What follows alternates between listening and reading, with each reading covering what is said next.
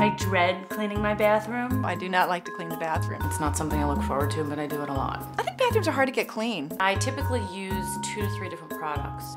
It just made bathroom cleaning so much easier. It took less time. It saves time and it saves money, in my opinion. I was able to clean in half the time. Very effective, but I didn't have to work hard. I just went in there with a paper towel and wiped it up quickly. It really changed my attitude. I switched from the foam to the spray because I was kind of curious to see how each one worked. Which I think is pretty amazing in one product. I could turn it upside down, whereas you're lucky if you get one spray of the other stuff. It really looked shiny and clean. I didn't feel like I was in there really scrubbing, scrubbing, scrubbing. It really had a nice, clean smell. Actually soothing and kind of calming. I was shocked. I kept using it. I would go out and buy this. I would. I would recommend the product. I would definitely recommend this product.